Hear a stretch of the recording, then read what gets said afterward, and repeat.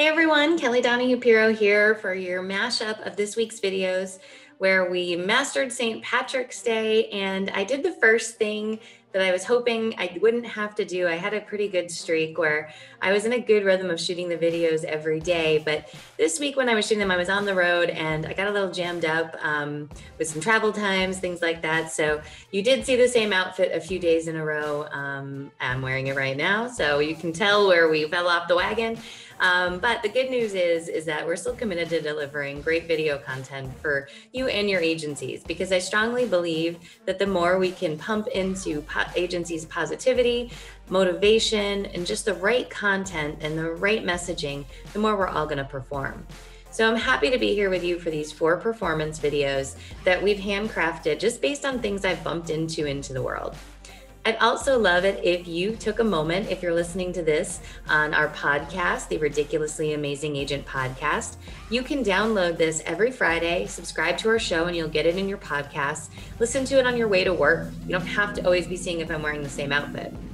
If you're on the podcast, we'd love to hear you hit, you know, give us a five star review or leave a comment. It means the world to us and helps more agencies get our get our messages. If you're on YouTube, also like the video. We'd love to hear more from you. And if there's ever a topic that you're interested in, let us know. We'd love to cover it. It's uh, fun coming up with the topics, but we could all use a little help sometimes. So without further ado, let's dive into our videos and get started for your Friday's mashup of this week's content. So, sales goals or quotas. Uh, you know, this is very common when we come into agencies and launch sales training to a team that's not producers. So, they're servicing and selling or their inbound team. And because we're coming in to do sales training, a lot of assumptions start floating around between, you know, am I going to get a quota? I'm not, I don't want a quota. I'm not a salesperson. And a lot of that comes from mindset that's really something where we work to unwind over that six months. This is really why all of our trainings are six months is it takes some time to unwind some mindset sometimes. And that's okay. That's why we're here. But in this situation, we had an agency reach out to us and say, I was like, hey, how'd it go launching? Letting them know we're going to do sales training. Um, and, you know, the scuttle at the coffee maker was, I don't want a quota. And so, knowing that, we know people jump to the worst case scenarios. And that's why I shot this video to help clarify the difference between a sales goal and a quota. Because if your brain's jumping to worst case scenario, why? Why are we stressing ourselves out about something that's not true? Kind of take a deep breath and understand the difference in this video. Hi, everyone. So today I want to talk about something really important. We actually talk about this during our Apex sales training. When we work with a client live on sales training, we always try to set some form of a sales goal and incentive. So some agencies have them, some don't. But universally, if an agency doesn't have a sales goal, something very important is going to happen. When we talk about it, dread drips off of people's faces. The post meeting meeting, which we like to call the meeting after the meeting at the water cooler, coffee maker, or over text, or you know, your agency's chat system is can you believe we have a quota? And so today I'm going to take a moment to talk about the difference between a quota and a goal. A quota is something that sales professionals have to say, this is the expectation. If we fall below it, you have a performance issue. A goal, on the other hand, is something saying, could we all work together, row in the same direction, and take some time to try to hit a target? Think about it. If you're losing weight, you don't have a quota, you have a goal. And for many, many, many, many, many agencies, in fact, the vast majority of agencies I know don't have a quota, they have a goal. So if you hear you're getting a goal, don't think quota. Quota is something that true sales professionals have to make sure that they're being profitable for the business. And they're very important to have as well. But a goal is far different than that. A goal is asking you to put your personal best in every day. Don't cut corners and see what you can achieve with the training we offer. So, next time you hear goal, don't translate it to quota. Instead, say, hey, this is about me hitting my personal best, and I'm absolutely going to work towards hitting that goal. So, on our next video, you know, it's a, it's something that is so common that I see in insurance sales and so easy to fix, but sometimes we don't. We jump into underwriting mode, not sales mode, too often at the beginning of a sale. So someone calls in looking for a quote, we take out the ye old quote sheet and we don't bond, we don't ask sales questions like how many quotes have you gotten? Why are you shopping today? How can I help you? Do you have other policies with other agents? We become super order takers. And some of it's not our fault because maybe we've never been trained, but it's also not helping our agency grow. And so in this video, we started to structure hey, what do you have to do up front to not just go ahead, take the quote sheet out and start rattling off questions that people could fill out online and maybe have a better experience. Changing our tune will change our tone, which changes our outcomes. And that's what we cover in this video of the sales questions we really should be asking. So we're not just quoting, we're selling insurance. Have you ever thought about when your sales process actually starts? Is it from the first moment that you connect with a new lead? Or is it once you give over pricing and you're trying to justify it? For all too many salespeople, we underwrite and then we try to become a salesperson. And we really want to reverse that trend. It's important that we focus on selling from the first moment we interact, which means being impressive and presenting ourselves in a fashion where people are like, wow, I want to work with them all too often we fall into this trap that we are going to get stuck in, which is I'm going to sell if I win on price. That's something we have to avoid at all costs. So you have to think about inserting sales questions before your underwriting questions. When we work with sales training with agents, we often ask them, Do you use a quote sheet? which in all honesty if you've watched my videos is something i don't agree with unless you're in coastal areas or you have a quoting team that's doing that for you but for most of us we should be doing direct entry into a rater or for small commercial or niche where we're only going to go to one market right into the carrier website for other things we do need a quote sheet and that's understandable but if we go ahead and we start at the top and we think to ourselves, let's set up our sale, there are some sales questions we should be asking, such as, why are you shopping today? And you know, everyone's going to say price. So the rebuttal to that is, other than price, what's how are you going to select your final agent? When are you looking to make a decision? This helps you identify where they are in the process. Are there any other decision makers that should be involved in reviewing your options? And also, too, kind of going through and saying, do you have any other insurance policies with other agents? You want to go ahead up front and understand this lead. But you can only do that when you build rapport. And that means sharing a little bit about yourself in exchange to learn about the prospect. What this looks like is having a personal pitch, which many agents struggle with, and we've documented throughout our three minute videos. But the bottom line is you want to stick out and be memorable. If you tell me you have a dog, I'm going to talk about my dog, and instantaneously you go to the top of my list. We still buy from people we know, like, and trust at the end of the day. And that's why it's your responsibility during a new sales process to become memorable. And you become memorable when you connect with somebody. I can tell you by looking at hundreds of quote sheets across this fine country that almost no quote sheets, they, first of all, you want to get them all on one page. For whatever reason, we have to have one page, one page, one page, one page. Don't really understand why one page is different than two, but more power to you. I, I don't understand it. I'd rather have the job done right than worry about the number of pages. Um, but we want one page. And so we miss out on all the rapport building sales questions. And we go into year, make, model, roof, trampoline, pit bulls. And honestly, that's a great way to have a sales detracting process, not a sales enablement process. Because remember, people don't know what we don't tell them, and that's on us. That's our responsibility. So let's make sure that we're asking sales questions, not just diving into underwriting questions and selling once we deliver the rate. It's a great way to be a used car salesman and give us all a bad name in sales. Have you had a moment to check out our agency process packs yet? Well, let me tell you, they're full of such great stuff. First of all, they all include how to videos. So, not long, but five minutes that'll help walk you through each process. How great to train your team. Next, they all include a workbook with clear steps on how to tackle a process. The one that we want to help you with right now is how to set goals for every role in your agency. So often we get questions of, well, how do we set a goal for a service person? How do we set a sales goal? How do we set a goal for the non customer facing team? We want to include them. Well, we're going to help you with a full calculator that backs you in to what your agency wants to accomplish. We shouldn't be picking goals out of a hat. It should instead be I want to be X and my retention is Y, and this is what we need to do.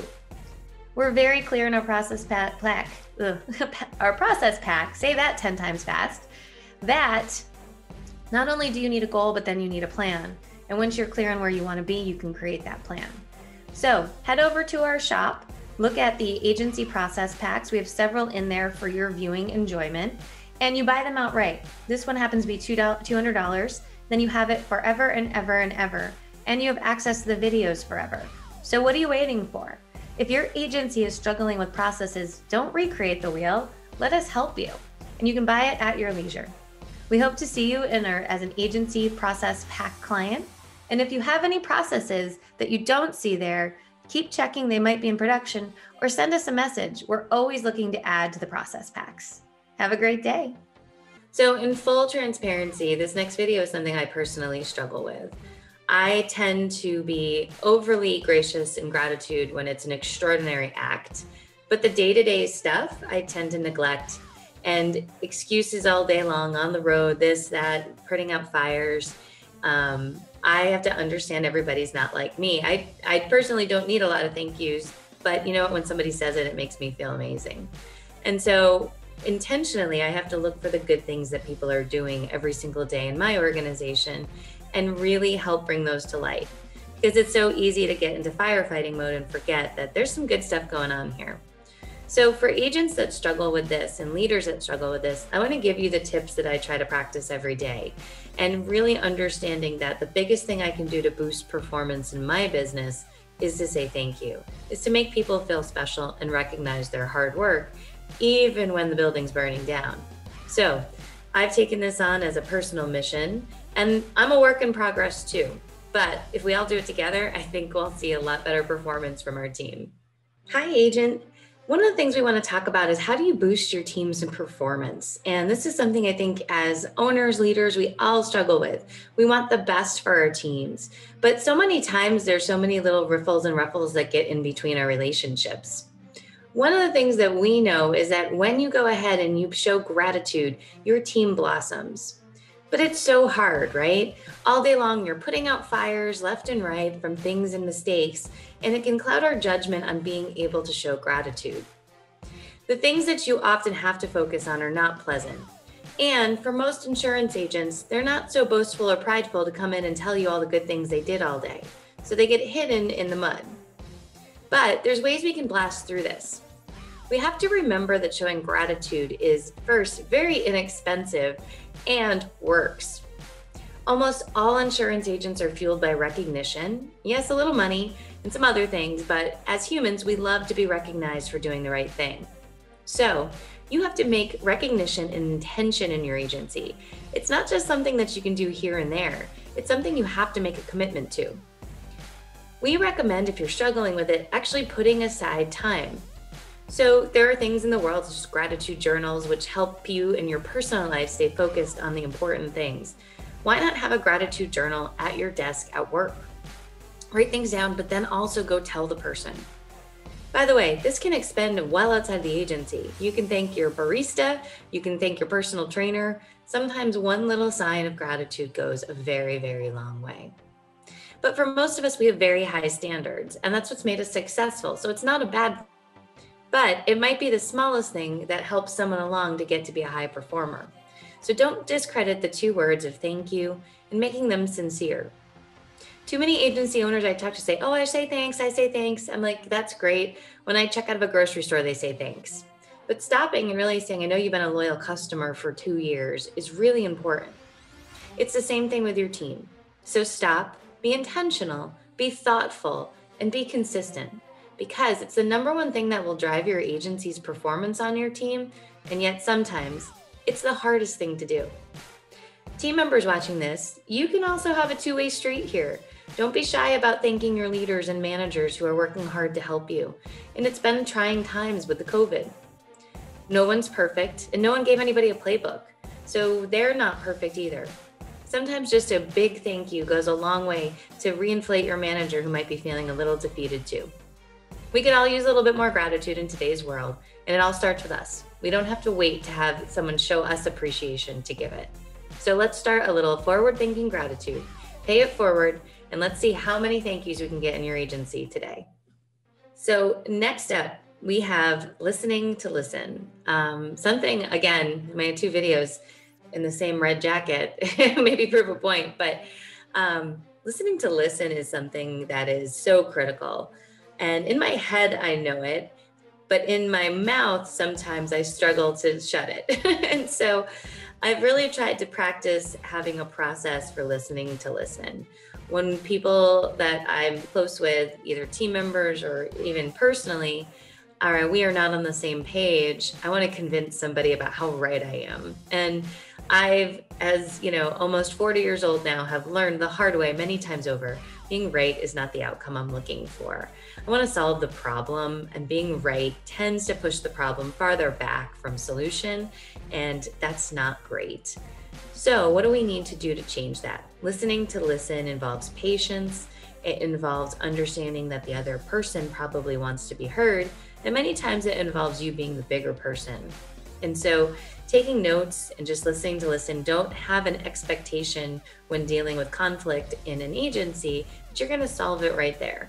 Most times it didn't get started that day and it's going to keep going on. It might not get fixed that day either.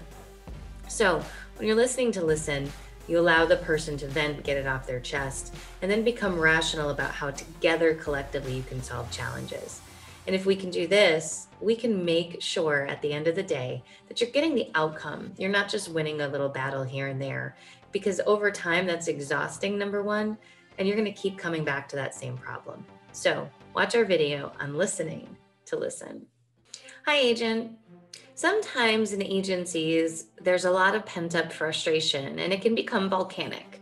In many agency assessments I get to work with, we see this, unfortunately missed expectations, um, perceptions that aren't reality, all sorts of things.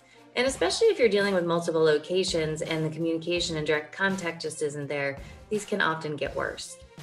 So, one of the best tips I was ever given is sometimes we all just need to listen to listen. Not defend ourselves, not correct people, not do anything, but just listen to listen. Because for so many of us, that's what we're really truly looking for, which is to be heard. And getting it off of our chest and understanding the other person is listening can be very, very, very therapeutic.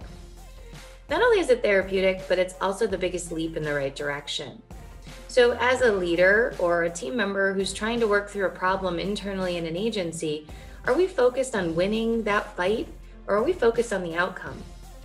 For many of us, we want the outcome of a better working relationship, a smoother working relationship, less stress, less strife.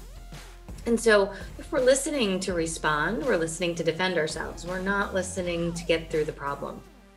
If we're listening to listen, you take active notes, you don't respond.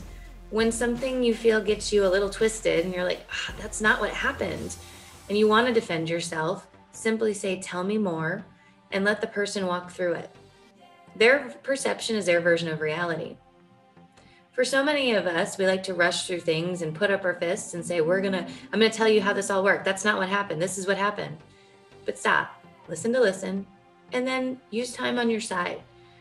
Problems in agencies probably didn't arise overnight, and they're not gonna get fixed overnight. So there's nothing wrong with taking a breather and then coming back to it tomorrow when cooler heads can prevail and the other person might be willing to listen. Yes, this may take you being the bigger person, but when we get to the right outcome and we can move on from strife in an agency, that's the true test. So, if you're facing conflict, I encourage everybody to take a moment and listen to listen. Don't listen to have an answer on that meeting. Don't listen to respond. Take notes, digest, breathe. If you start to get stressed, tell me more, because that's a great way of not responding, but saying, I don't understand, or can you, you know, to clarify for me? But tell me more is just a really great, great, great way to do it. so ask yourself next time you're getting into employee review, disciplinary hearing, or confronting a problem of listening to listen. And you might pick up some really key strategies that aren't about defending yourself, but are more about understanding your steps that you need to take to get to the ultimate job, which is the outcome, not winning one fight. So, next step that we have is wrapping all this up together. What a week! What a week! You know, we're in March. And the big thing that I want to display to everybody is we're all works in progress. And the best thing that we can do is keep challenging ourselves and keep pushing our teams out of their comfort zone a little bit. Not necessarily upsetting the apple cart, but the reality of the situation is is that nobody's perfect and expectations are high today. So, how can we meet those expectations but also clearly deliver them in a way that says here's our plan? And have grace when we're not perfect, but keep working on it. Because just saying, hey, I'm not good at it is not the strategy that you want to take on. I had a conversation this week with an agency where the the agent kept telling me, "I'm not a techie person. I'm not a computer person. I'm not a computer person." And you know, he was he was in the back nine of his career, and he's he's got a lot of knowledge and a great guy, and he's really struggling on getting on board with technology. and I simply said to him, you know, the more you tell yourself you're not a technology person, the more you definitely won't be a technology person. And he was like, "What do you mean by that?" I said if I tell myself I'm not a bikini model, I'll never be a bikini model. I told myself growing up, I'm not good at math. I'm not good at math. And guess what? I was always not putting myself in situations to get better at math. But you know, the reality is, is that we all need to stop and take a deep breath and say, we're all unique and special, but just because we're not good at something doesn't mean we can't learn. You know, my 92 year old grandmother has an iPad that plays bingo on it and orders on Amazon. She's not a computer person but she's learned, she's kept an open mind on things, and that's really where we need to be. So I want to leave you with that message of what's the label you're giving yourself that maybe you need to take off and say, Am I using that as an excuse to not get better at the things I know are going to make a difference? And on that note, I'll leave you and we'll see you next week with more videos. And if you like this, again, share the podcast around or the videos. We'd love to pick up some new subscribers, followers, and get your feedback. Have a great week, everybody. Is training your insurance team on your mind? If not, it should be. Your team is your largest investment of the agency. And when they aren't trained with the best practices, you're not exactly leading the team the way you should be. Training can be difficult, right? Sometimes people aren't bought in. There's never enough time, and it can be costly. But we've solved that problem here at Agency Performance Partners. We have an online school with sales training, retention training, time management training, how to turn inbound calls into opportunities, and how to reduce remarketing. And we're adding a new course every single quarter. This can be done on your own time, and the videos are generally under 10 minutes. There's workbooks, role playing videos, scripts. It's super interactive. For many agencies, they pop the video on during their team meeting and then use the discussion questions in the workbook. So you can take your team meetings to the next level. Oh, and did we mention cost? It's only $245 a month. And what that means is your team gets access to the subscription of training and all the trainings we add. Or if you prefer, we have some trainings you can buy outright. But not training your team, there's no excuse because now we have a solution to an industry wide problem. You can hop onto our website and look for the Agency Performance Pack and that will get you there so that that way you can go ahead and start training your team. You can get your subscription right on our website and get access to the courses immediately. Each one even includes a manager section, and many of them include setup guides with AMS 360, Hawksoft, QQ Solutions, and Applied Epic. We're consistently updating those training guides as well. So, what's the excuse now? Just go over to our website, get started today. Any questions? Let us know. We're happy to help. But an untrained team is costing you, your clients, time, money, energy, and stifling your growth.